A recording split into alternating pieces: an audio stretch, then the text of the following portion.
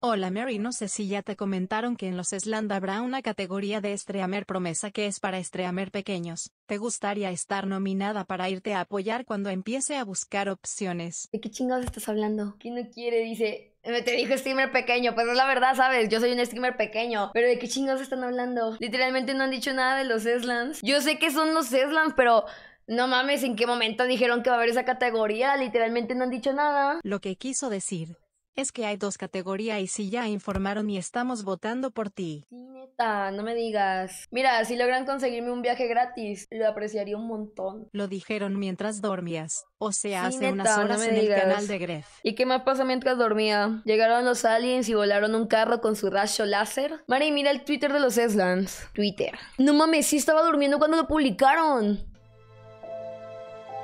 Guía de la tercera edición de los premios Eslan. Perdón. La tercera edición de los premios Eslan está a la vuelta de la esquina. Y para que no te pierdas ni un detalle y para que no te lo cuenten otros, hemos creado este sencillo vídeo con todo lo que debes saber. Hitos. Los premios Eslan siempre han sido mucho más que una gala. Pero este año iremos un paso más allá. Excusa haciendo para que el vestirse evento bonito. tenga dos directos especiales. Ve reservando las fechas.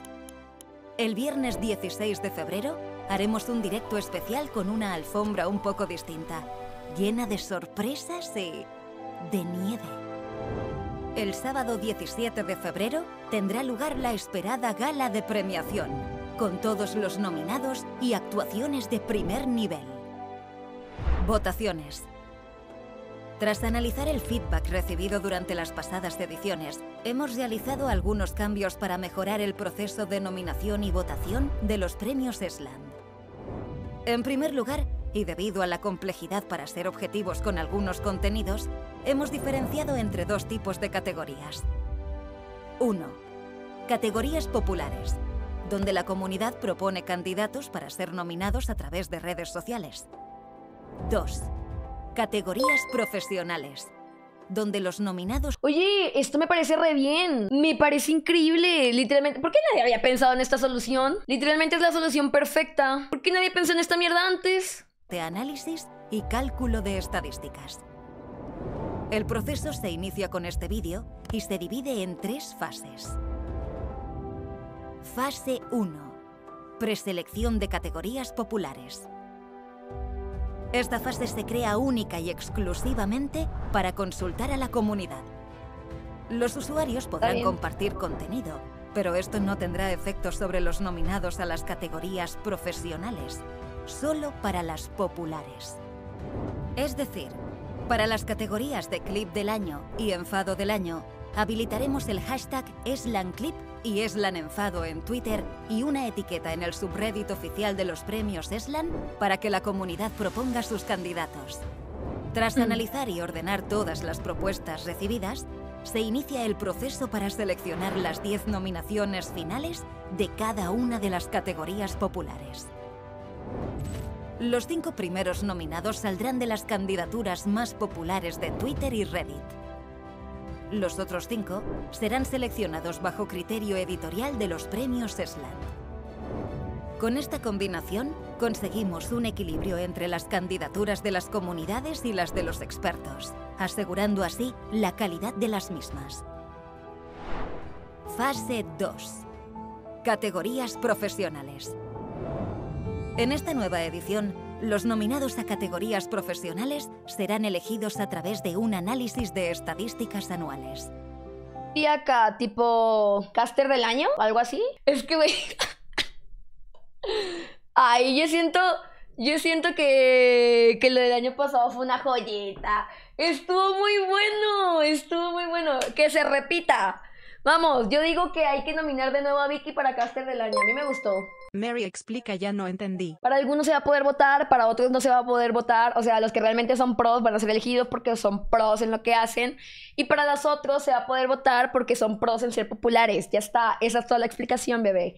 ¿Te lo expliqué bien o un poquito más lento? Quitaron categorías entre ellas caster, jugador esports, baile y canción del año. ¿Por qué? ¿Todo eso aparece en el video o se lo sacaron de...? Vamos a ver. Sí, sabemos que los números nos sirven para evaluar un trabajo creativo. pero cada vez que ves a tus streamers favoritos, en cierta forma, los estás votando.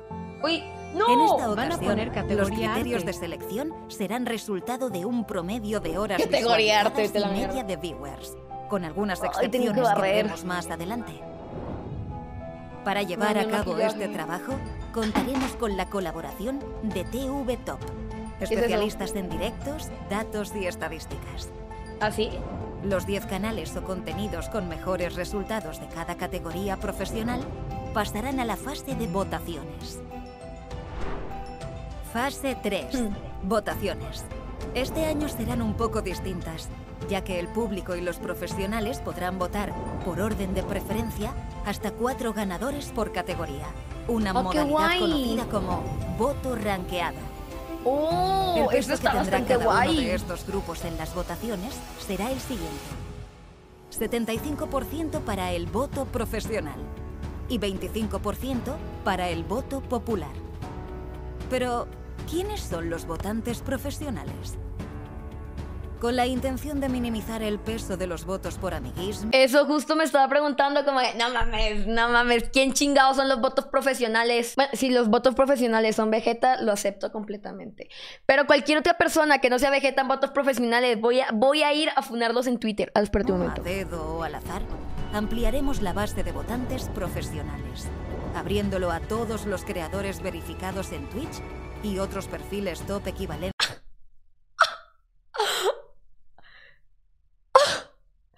¿Soy votante profesional? Bueno, vamos a esperar a que digan los nominados y vamos a empezar a cobrar por nuestro voto. ¿Cuánto deberíamos cobrar por el voto? Eh, yo digo que para empezar unos 50 dólares está guay, ¿no? Unas 100 subs. 100 subs está guay, está guay, ¿eh? Y la humildad, ¿cuál humildad? Tú cállate, estoy tratando de vender mi voto. Listo. Entonces, vamos a hacerlo tipo... Ah, subasta. Mi voto empieza en 50 dólares. ¿Quién da más? Ya tenemos clip para la funa.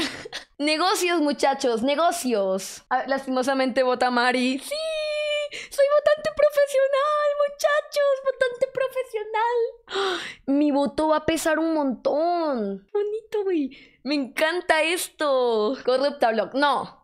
Les juro que cuando vaya a votar por los Eslans, yo voy a votar de forma consciente, sin amiguismos, sin nada. Voy a votar de manera objetiva. Yo estudié cómo ser objetiva, ¿sabes? En psicología tienes que aprender a tratar de ser objetivo, desligarte un poco de tu entorno para tener una visión más amplia de las cosas. Los juro, güey, yo lo estudié. Que sí, que sí, pero cuando salga Quackity ni quien la detenga. Quackity era.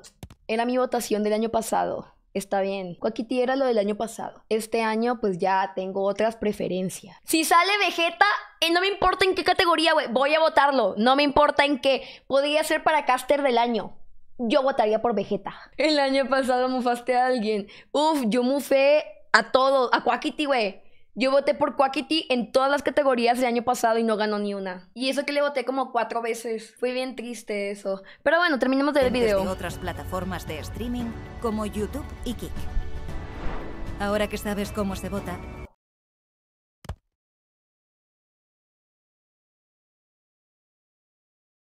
¿Y qué está acá? ahora que sabes cómo se vota, queremos compartir contigo las categorías de la tercera edición de los premios Esland.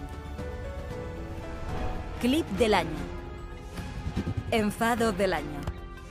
Streamer IRL del año. Mejor Variety Streamer. Mejor cobertura informativa. Espérate, no entendí. Esto es categorías. Sesland. Clip del año. Enfado del año. Streamer Solamente hay dos categorías populares y el resto son IRL profesionales. del año.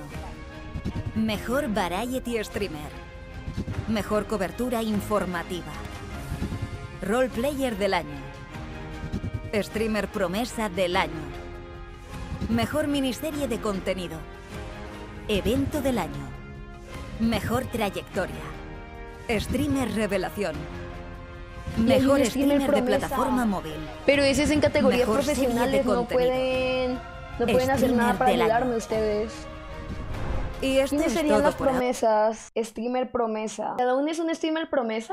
Bayer, no, Bayer es un streamer muy grande para ser streamer promesa. 100 dólares que gana Rivers. No, pero Rivers también ya es un streamer demasiado. Literalmente es la mujer más grande de todo, de todo Twitch. Es la streamer chica más vista de todo Twitch. y cómo hacer promesa, güey. Es, streamer del año, quizás. Gloglo, él da miedo, eh. Promesa Swaring. Aquí no God.